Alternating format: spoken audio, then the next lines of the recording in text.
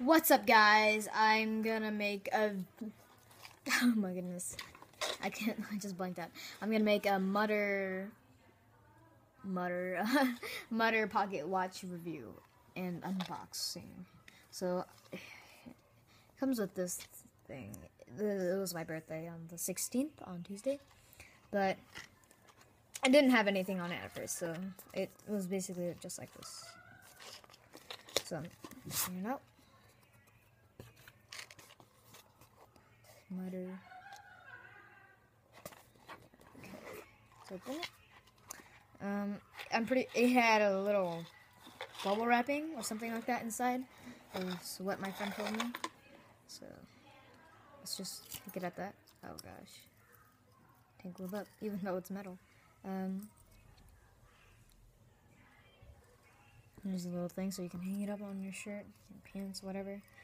Um, here's the the pocket watch itself. I got this off of Amazon, or she got this off of Amazon. Not gonna say who for um, fourteen dollars, about fourteen dollars. So click a button like that, and it opens. And just close it up like that.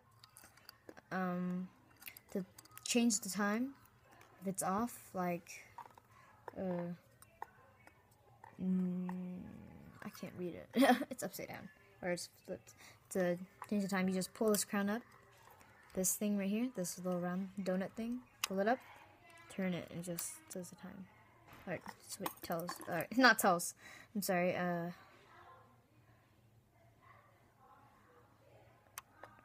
it changes the time. Um,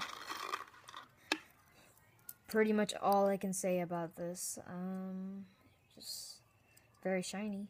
Oh yeah, and I advise you not to keep on opening and close it over and over again because then it eventually it's going to scratch the metal and then it's going to be like basically clanging a bunch of metal together and then it's going to scratch uh, pick at the metal right so that it doesn't it won't close properly anymore it will just you'll push it in it doesn't make a click and just falls out or just um, you put it back in you hear a click but then again it just falls back down um, and Mudder, I'm pretty sure, is in the in the world of pocket watches is like the best brand.